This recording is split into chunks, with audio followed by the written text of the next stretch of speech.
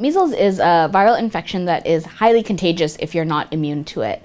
Um, generally characterized by fever, cough, runny nose, and then a pretty characteristic rash that can involve much of the skin surface. So measles used to be a relatively common childhood illness since we've introduced very effective immunization. It's quite rare to see it here in the United States especially. Um, the dangers are that it can cause certain complications. Um, it can infect the brain, for example, resulting in something called encephalitis. Um, it can cause severe pneumonia. Um, and so these complications are really what we're trying to avoid by vaccinating children before they get sick with it.